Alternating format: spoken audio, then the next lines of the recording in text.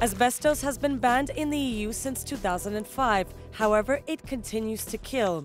An estimated 78% of work related cancer cases are linked to asbestos.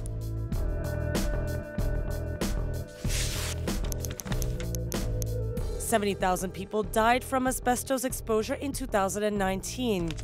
Asbestos is still very widespread in Europe's homes and office buildings. The main threat is when it's disturbed during renovation works. So the European Commission is proposing to make the limit for asbestos exposure across the EU 10 times lower. The threshold would drop from 0.1 fibers per cubic centimeter to 0.01 fibers per cubic centimeter. The Commission also aims to support asbestos victims, protect building site workers, and ensure asbestos is safely disposed of.